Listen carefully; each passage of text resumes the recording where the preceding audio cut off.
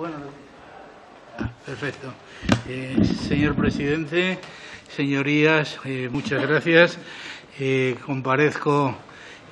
ante esta comisión para informar sobre el contenido del proyecto de ley de presupuestos y mi intervención necesariamente tiene que ser complementaria de la que ya ha realizado la señora subsecretaria de Cultura y de Deporte. Por consiguiente, yo me voy a centrar en algunas cuestiones que quizá las más relevantes y que se refieren a las competencias de la Secretaría General. Eh, saben sus señorías que la Secretaría General de Cultura fue creada por el Real Decreto 124-2020 eh, de 28 de enero. Era, un órgano que no existía hasta entonces. Eh, en, Cultura había existido la Secretaría de Estado cuando estaba vinculada a Educación, pero nunca había existido una Secretaría General. Se creó, por consiguiente, el 28 de enero y sus funciones han sido atribuidas posteriormente a través del Real Decreto 509, también de, 2020, de 5 de mayo. En este Real Decreto, donde se establece que dependen orgánicamente de la Secretaría General de Cultura tres direcciones generales. La Dirección General del Libro y de la Lectura, la Dirección General de Industrias Culturales, eh, Propiedad Intelectual y Cooperación y la Dirección General de Bellas Artes. Por consiguiente, yo me voy a limitar a hablar de las políticas de estas tres direcciones generales que son las que me corresponden. Eh, antes de entrar, antes de entrar en las tres, en las políticas del libro, la política de industrias culturales, la política de bellas artes, eh, querría destacar que en la primera comparecencia del ministro de Cultura y Deporte, la, comparecencia que tuvo lugar aquí ante esta comisión el 26 de febrero pasado, eh, en esta comparecencia el ministro ya trazó una serie de líneas políticas lógicamente referidas a todo el Ministerio, pero en lo que a mí me concierne, referidas a la política del libro, a la política de eso que, ese concepto amplio de industrias culturales y a la política de bellas artes. Bueno, pues esa política que trazó el ministro de Educación y Cultura, eh, de, Cultura y Deporte el 26 de febrero sigue vigente. Evidentemente, esa vigencia ha tenido que modularse a través de toda la crisis que ha ocurrido durante la pandemia, crisis que en el caso concreto de la cultura eh, tuvo respuesta fundamentalmente a través del Real Decreto que se aprobó se aprobó el 5 de mayo, el Real Decreto Ley 17-2020 el 5 de mayo y muy recientemente ha sido completado por el Real Decreto Ley 32-2020 de 3 de noviembre. Por consiguiente, tenemos unas líneas políticas trazadas en el mes de febrero, moduladas por la situación crítica que ha supuesto eh, toda el COVID-19 y complementada por los dos reales decretos leyes que en el ámbito de la cultura se han ido aprobando para hacer frente a toda esta situación. Por consiguiente, seguimos sigue vigente todo ese programa político y ese programa político es el que se ha expresado eh, eh, en términos cuantitativos en el proyecto de ley de presupuestos que ahora es objeto de esta comparecencia. Eh, entonces, a partir de ahí ya estamos en condiciones de ver cuáles son las líneas generales de, de, la, política del libro, la política de industrias culturales, la política de bellas artes. Empezando por la política del libro y de la lectura, yo lo primero que querría señalar, y quizás es el tema más importante que está mejor reflejado también en el proyecto, en el proyecto de ley, es el plan de fomento de la lectura, el plan 2020-2024. Eh, eh, este año, 2020, ha culminado el anterior plan de fomento de la lectura y nos ha parecido que era absolutamente imprescindible volver a ponerlo en marcha porque es el instrumento que puede tener más utilidad a la hora de hacer una política que favorezca la lectura entre los ciudadanos y las ciudadanas. Eh, este plan comporta acciones muy diversas y por consiguiente se desglosa también en varios, en varios proyectos que voy a presentar ante sus señorías. En primer lugar, en primer lugar, quizá uno de los temas más interesantes es la dotación bibliotecaria para bibliotecas públicas. Eh, por un importe de 1.600.000 euros eh, tenemos intención de seguir aportando fondos bibliotecarios para todas las, para todas las bibliotecas públicas. Eh, evidentemente, eh, se trata de que las bibliotecas públicas sigan adquiriendo fondos bibliográficos, tanto, eh, tanto eh, en formato de papel como en formato bibliográfico, y pensamos que esta es una forma adicional de seguir favoreciendo al sector de las librerías, al sector de las editoriales, que evidentemente pues, han sufrido, como el resto de las actividades económicas de este país, han sufrido, lógicamente, todas las consecuencias de la pandemia. A través de esta dotación eh, inyectamos una cantidad relevante de dinero para que se sigan adquiriendo obras, obras bibliográficas. Tenemos también, es muy importante, las ayudas a la creación literaria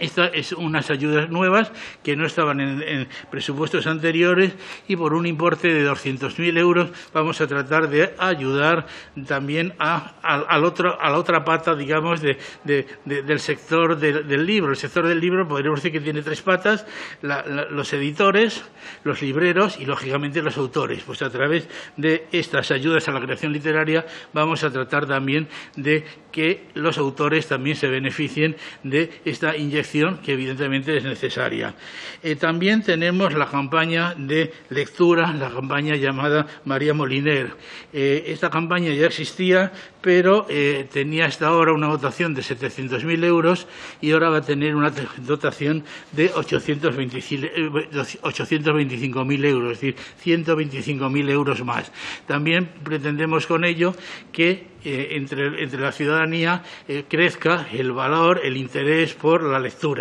que evidentemente eh, en una sociedad tan compleja como la que tenemos, con, tantas eh, incitaciones desde la tecnología, pues no, a, veces, no siempre se consigue un interés por la lectura. Esta campaña está destinada a eso y por eso lleva el nombre de María Moliner. Esto en cuanto el, digamos, el plan general de, la lectura. Luego, muy importante también es la política de internacionalización del libro. Eh, evidentemente, desde hace muchos años eh, la industria del libro es una industria muy internacionalizada. Eh, la exportación, sobre todo a Iberoamérica, es constante y el día que falla, y a veces los libreros y sobre todo los editores han podido comprobarlo, el día que por un motivo u otro falla eh, esa exportación, la, industria del libro se resiente. Entonces, como somos conscientes de ese punto de debilidad y que por otra parte es lo que permite que funcione mejor la industria en España, si puede exportar bien, ah, también vamos a poner bastante esfuerzo, hacemos un esfuerzo eh, importante en internacionalizarlo. ¿Cómo? Pues, por ejemplo, con un programa para traducir obras españolas a lenguas extranjeras. Es un programa al que vamos a dedicar 482.000 euros y se trata de conseguir que obras españolas, obras en lenguas españolas puedan ser traducidas a lenguas extranjeras y, por consiguiente, eh, contratadas y difundidas, editadas en otros países. También dentro de esta internacionalización está el refuerzo de la presencia española en las diversas ferias y acontecimientos internacionales. Obviamente nos referimos sobre todo a la Feria de Frankfurt, pero no es la única. También está la Feria de Guadalajara y cualquier otra. Hay otras que son mucho menos conocidas porque son de ámbitos más limitados, pero vamos a apoyar a editores sobre todo y también a la presencia de los propios autores, porque de esta manera se difunde mucho más el libro español español.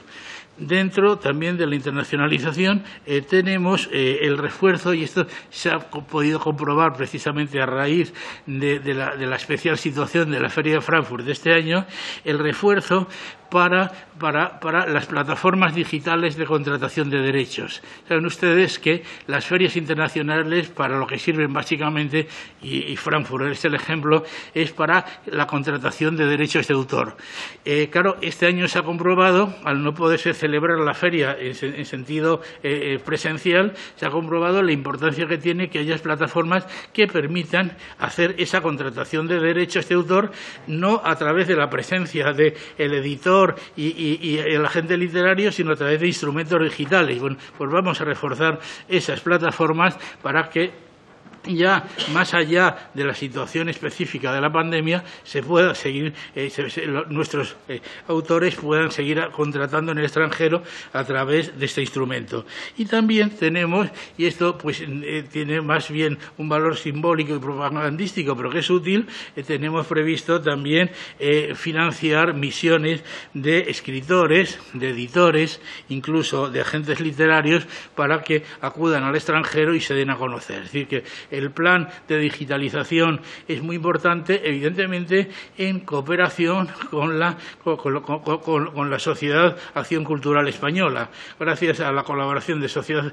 la Sociedad Acción Cultural Española, el proceso de, internacionalización del libro español puede tener eh, unas posibilidades muy amplias. Un tercer punto dentro de la política del libro eh, son las acciones eh, transversales, por ejemplo, relacionadas con la igualdad. Eh, saben sus señorías que el Consejo de Cooperación Bibliotecaria, que es el consejo creado por la ley del libro y que es el, órgano de cooperación entre el Estado y las comunidades autónomas en materia, en materia de, cooperación bibliotecaria, que, yo presido, este, este consejo ha ido aprobando paulatinamente desde que se creó planes estratégicos el actual tercer plan estratégico está dedicado a la igualdad y lo que pretende, y estos presupuestos pretenden apoyarlo, lo que pretenden es que la presencia de la mujer se haga mucho más visible en las bibliotecas.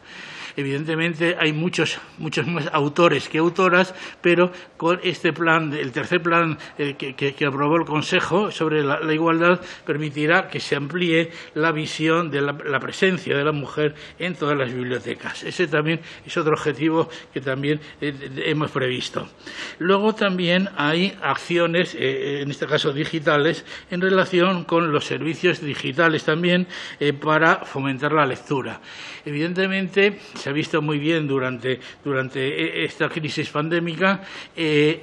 ya no se puede plantear, como hace unos años, el acceso al libro a través de acudir a una biblioteca, a, un centro público que se llama biblioteca y donde te entregan libros. Evidentemente, todo ha cambiado. Se ha visto muy bien durante todo este que el acceso a los instrumentos digitales que permitían las bibliotecas públicas ha sido ha permitido suplir la imposibilidad de acudir a las bibliotecas bibliotecas de manera presencial. Entonces, eh, hemos previsto en los presupuestos una cantidad importante para adquirir licencias de libros digitales para las bibliotecas públicas. Es decir, el libro digital necesita, en la biblioteca pública necesita una licencia. Bueno, pues vamos a hacer una actuación muy importante para poder asegurarnos que cualquier persona que acceda a la biblioteca pública por la vía digital pueda acceder a un libro que goza que, que, disfruta de la correspondiente licencia, con lo cual se respetan, claro está, los derechos de autor.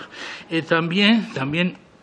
pretendemos actualizar, enriquecer las dos grandes bibliotecas virtuales que tiene el Estado, la Biblioteca Virtual del Patrimonio Bibliográfico y la Biblioteca Virtual de la Prensa Histórica. Eh, vamos a, otorgar además ayudas importantes para la digitalización de todo el patrimonio bibliográfico porque es la conclusión a que se ha llegado después de toda esta crisis sanitaria que el, acceso a, las bibliotecas por la vía digital cada vez cada vez va a ser más importante porque cada vez va a ser más complicado acceder de manera constante a los, libros de las bibliotecas. Lo saben sus señorías cuando estábamos preparando, es la biblioteca que depende del Ministerio, cuando estábamos preparando la apertura de la Biblioteca Nacional, la cantidad de, cuestiones que hubo que resolver para asegurar la estricta sanidad de esos libros, de, sobre todo, y, además eh, eso lo tuvimos, luego lo extendimos a todas las bibliotecas de las comunidades autónomas por si les servía de información, porque claro, eh, durante estos meses quien recibiera un libro, eh, sacar un libro de una biblioteca y lo devolviera, ¿en qué condiciones sanitarias se devolvían? Bueno, pues ese es un ejemplo de la enorme dificultad dificultad que están teniendo las bibliotecas eh, físicas, presenciales, y claro, eso nos lleva en el Ministerio a tratar de potenciar todos los instrumentos digitales, que por otra parte, por lo menos en lo que se refieren a las bibliotecas eh, digitales que dependen del Ministerio de Cultura y Deporte, son, son bibliotecas excepcionales por la gran cantidad de documentos literarios que tienen. Luego también, y ya voy acabando este primer punto referido a la política de, bibliotecas y de lecturas, eh, también están las acciones para fomentar eh, el uso de las, lenguas, de las lenguas españolas. Vamos a dedicar 200.000 euros a nuevas ayudas a la traducción en los idiomas españoles, para que también se puedan difundir eh, la diversa, sobre todo la, producción eh, eh, literaria e histórica producida en distintas lenguas españolas para que se puedan conocer en, otras lenguas. También vamos a hacer cursos para formar bibliotecarios y vamos a fomentar, y lo hemos previsto así, el, décimo Congreso Nacional de Bibliotecas Públicas. de esta manera aseguramos un conocimiento mayor de eh, toda la riqueza eh, lingüística que tiene España. Eh, y también, y lo voy a decir muy rápidamente porque creo que ya lo ha dicho la subsecretaria de Cultura y Deporte, hemos hecho un esfuerzo importante para, dotar de más medios a la Biblioteca Nacional. hemos previsto, muchas gracias, tres millones de inversiones, más otros cinco millones noventa y cuatro mil para inversiones reales en la Biblioteca Nacional porque pensamos que esa que es la única biblioteca que depende directamente del Estado, las demás están transferidas a las comunidades autónomas, tiene que hacer un esfuerzo adicional para que siga siendo la gran referencia bibliográfica de este país. Lo que pasa es que la producción bibliográfica de este país cada vez es más amplia. Eh, en parte en vía digital, que también tiene sus consecuencias económicas y por consiguiente vamos a hacer un esfuerzo muy importante para que la Biblioteca Nacional siga desempeñando ese papel cabecera que tiene. Eso en cuanto a la política, a la política de el libro y de fomento de la lectura. En cuanto a la política que podríamos llamar de industrias culturales, y soy consciente de que es un término muy etéreo, pero es como se llama desde hace mucho tiempo la dirección general correspondiente, eh, mm, tiene un programa político que también expresó muy bien el ministro de Cultura y Deporte en su comparecencia de febrero y luego, luego lo complementó con su comparecencia de mayo y pensamos que esos objetivos dentro, dentro de los cambios que se han producido por la crisis pandémica se, van eh, cumpliendo poco a poco y se van cumpliendo efectivamente a través del proyecto de ley de presupuestos. Eh, quizá quizá eh, quizá lo más importante lo más importante eh, es eh, básicamente y, yo lo quiero destacar porque quizá sea una de las cuestiones más importantes que sea es la previsión de unas inversiones de 20 millones de euros para la co-capitalidad cultural de Barcelona ya había eh, desde la época del gobierno del presidente Rodríguez Zapatero un acuerdo en ese sentido, pero eh, se ha renovado en el mes de febrero cuando el presidente, el presidente Sánchez estuvo en Barcelona y eso ha dado lugar a una previsión en el presupuesto de 20 millones para inversiones en instituciones culturales de Barcelona. Eh, tenemos, evidentemente, en el Ministerio tenemos bastante claro eh, cuáles serían las líneas generales de inversión, pero no me atrevo a presentarlas ante sus señorías porque el mecanismo administrativo para aplicar estas previsiones es a través de un convenio con el Ayuntamiento de Barcelona. Mientras no firmemos ese convenio, eh, las ideas que tenemos, y quizá alguna salga más adelante, pues quizá no sea todavía el momento oportuno de presentarlo, pero en cualquier caso hay una voluntad del Ministerio de dedicar una gran cantidad, una, una cantidad importante a estas instituciones, porque evidentemente en Barcelona también hay instituciones culturales muy importantes. Esto en cuanto a una, una línea importante. Otra línea importante también es las ayudas, eh, en el campo de, en el campo de, la, de, la, eh, de, las industrias culturales, las ayudas en, en concurrencia competitiva con objeto, con objeto de que se, establezca un tejido cultural más rico, más, esponjado, más generalizado. Y entonces tenemos idea, tenemos la intención de favorecer estas ayudas a, las diversas personas jurídicas que compitan, bien sean empresas, bien sean, bien sean entidades sin ánimo de lucro, con la idea fundamental de que estas ayudas sirvan y ahí entramos en el mecanismo de reconstrucción y resiliencia, eh, estas ayudas sirvan para eh, enriquecer la digitalización de las instituciones culturales que están actuando en el campo de la cultura. Entonces, eh, ayudas para la digitalización nos parecen muy, muy importantes y porque de esta manera pensamos que precisamente por lo que decía sus señorías antes respecto al acceso a las bibliotecas, hemos visto que en este momento, sin, eh, un fortalecimiento de las empresas desde, sus mecanismos digitales, va a ser difícil que sean competitivas. Y lo mismo pasa con la gran cantidad de entidades sin ánimo de lucro, fundaciones, asociaciones, que en este momento tienen que actuar, eh, eh, tienen que actuar efectivamente en el campo digital. lo teníamos claro en el Ministerio, pero luego lo comprobamos cuando nos llegaron noticias de que hay, durante toda esta crisis del confinamiento, muchas, muchas eh, fundaciones y asociaciones han seguido realizando actividades culturales permanentes a través de, a través de conferencias y reuniones digitales. Eso ya lo sabíamos, pero es que lo hemos comprobado, lo hemos comprobado en la práctica y evidentemente hay una voluntad muy eh, eh, sólida en el Ministerio para que todas las eh, empresas y las entidades que están en el ámbito de la cultura pues puedan completar su actuación a través de medios digitales. Además de eso, hemos previsto también transferencias directas a, entidades, sobre todo, esto es muy importante, transferencias a las entidades de gestión de derechos de propiedad intelectual. Y aquí, inevitablemente, vuelve a salir otra vez el tema de la crisis. Durante todas las crisis pandémicas, las, eh, entidades gestoras de derechos de propiedad intelectual reconocidas por el Ministerio, que son siete, pues han tenido que hacer frente a la situación, a veces muy dramática, de sus asociados. Eh, hubo que hacer incluso alguna reforma normativa para que pudieran dedicar más fondos a la asistencia social de sus asociados, porque eh, ha, habido situaciones realmente dramáticas de muchas personas que no tenían eh, los más mínimos medios simplemente de subsistencia. Entonces,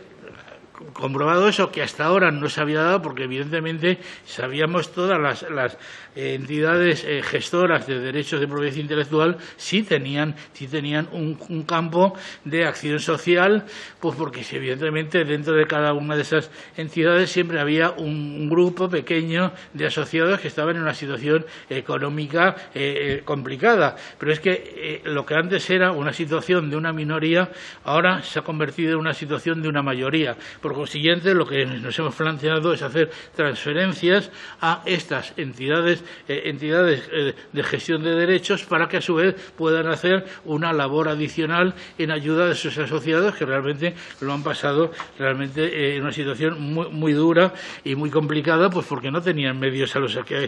medios económicos. también, también todo esto y sería un poco la conclusión en cuanto al esfuerzo que estamos haciendo con la propiedad, eh, con, lo que se llama las industrias culturales, mm, hemos comprendido y, la gestión de, la crisis nos lo ha enseñado también, hemos comprendido que es necesario eh, transferir eh, más fondos a esta, esta, fracción de la sociedad civil que o bien está actuando en el, en el, mercado, está actuando en el campo de las industrias, o bien está actuando también en el campo de, eh, de la asistencia social. Por poner un ejemplo, y hay muchos, pero quizás sea el ejemplo más interesante, durante toda la pandemia se ha comprobado la importancia que está teniendo el, videojuego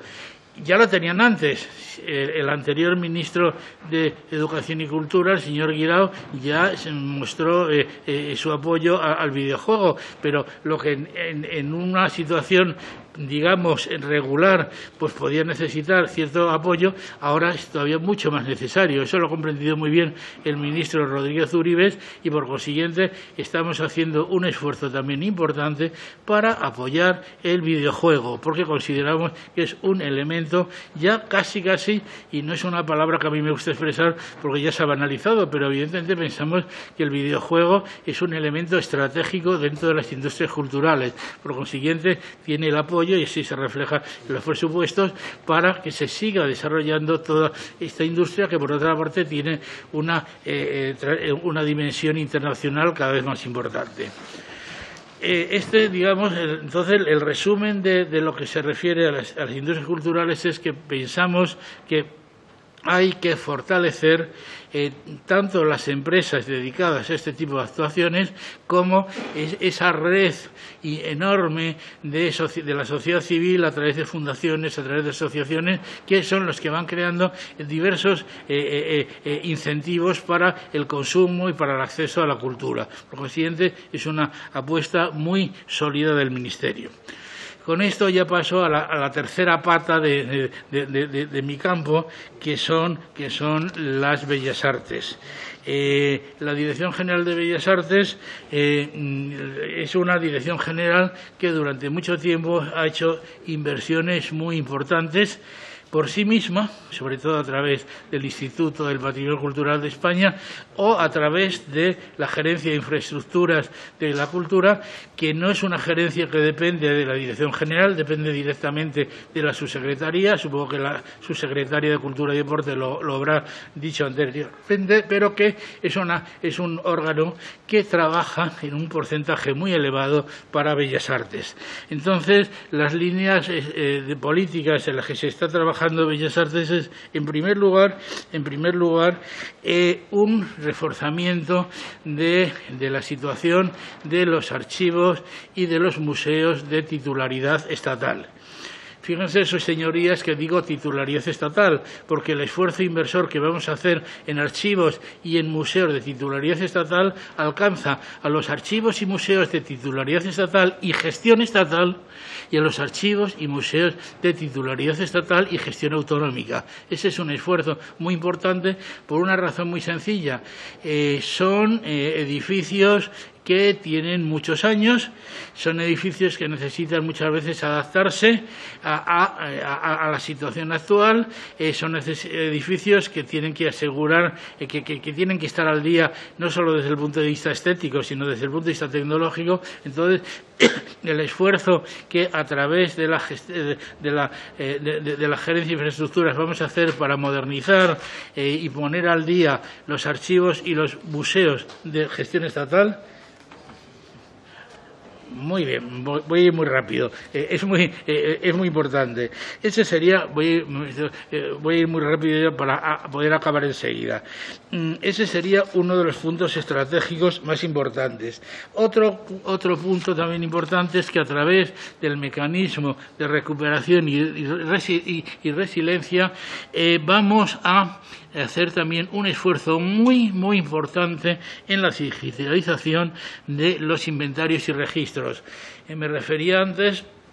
a que eh, en el decreto de estructura, el nuevo decreto de estructura orgánica del Ministerio de mayo pasado, se creó una subdirección general dedicada exclusivamente a inventarios y registros. Pensamos que es fundamental tener un conocimiento eh, muy, muy rico, muy amplio de todo lo que es el patrimonio histórico español. El que es de titularidad pública y dentro de eso titularidad estatal y el que incluso es de titularidad privada. Para eso necesitamos un esfuerzo de digitalización que lo que son las casualidades, los nuevos, los nuevos fondos europeos nos pueden ayudar a hacer un esfuerzo muy importante para que podamos acceder, no solo las administraciones públicas, sino los ciudadanos, al conocimiento de ese gran patrimonio que tenemos en España. Ese sería otro punto. voy yendo muy rápido, también está eh, la política de revalorización del patrimonio histórico. Eh, se ha creado también una subdirección general de gestión del patrimonio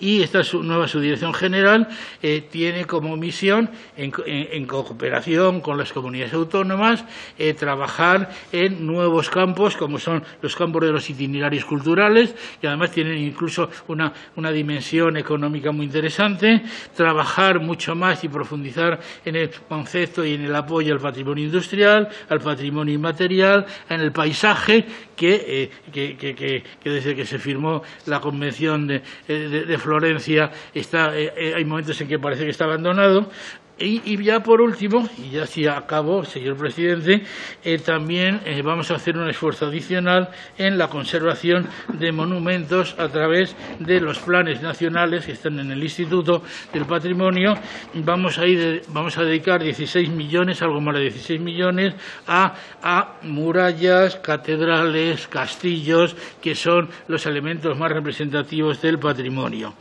Eh, ya con esto acabo. Yo querría señalar a sus señorías que sus señorías saben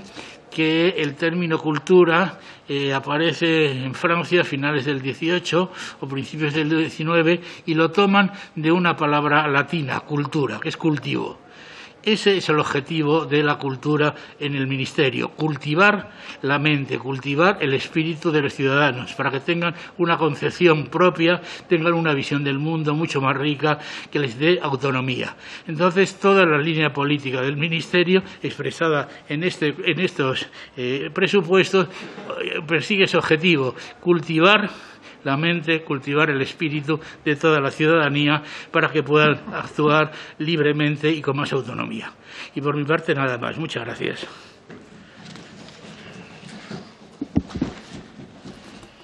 Señor García Fernández, secretario general del